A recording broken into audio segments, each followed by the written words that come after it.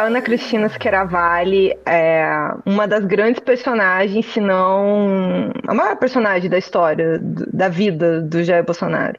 É, quando você conversa com as pessoas mais próximas dele, todo mundo te fala, assim, né, como ela é uma bomba ambulante, assim, a, a preocupação que se tem com ela, a preocupação com o tanto que ela sabe da vida dele, como ela foi central na construção desse esquema é, de corrupção, né, ela foi chefe de gabinete do Carlos Bolsonaro, que foi o primeiro filho filho que o, o presidente Jair Bolsonaro botou na, na vida pública, né, para ser vereador. Uh, e como ela colocou ali uma porção de pessoas da família dela no gabinete dele, do, do Carlos, no próprio gabinete do Bolsonaro, depois no gabinete do Flávio, inclusive. É, enfim, ela, ela tinha ali um, um papel fundamental na, na, no momento em que tudo isso se arma.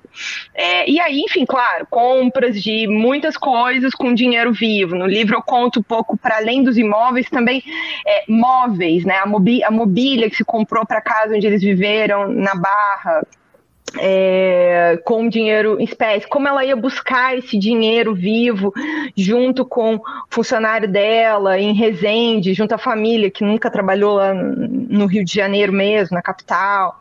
Então, assim, a Cristina, se algum dia é, resolver falar de verdade o que ela sabe, diferente dessa pose de Cristina Bolsonaro, né, que ela se apresenta como Cristina Bolsonaro, mas ela nunca teve o sobrenome dele, e isso é o que causa, assim, mais espanto em todo mundo que conheceu ela, inclusive porque sabe dos detalhes da separação deles, como eles brigaram de maneira, assim, é, é, bruta, né, e, e, violenta até, de, de certa maneira, é, verbalmente. Ela acusou ele de ser violento, é, entre outras coisas.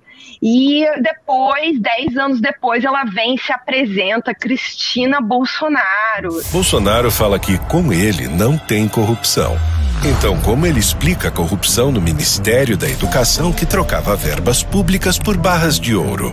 Como ele explica decretar sigilos de 100 anos em diversos escândalos do seu governo? Como ele explica o caso das rachadinhas?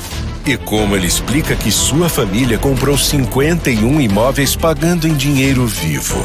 Bolsonaro não engana. É escândalo tamanho família.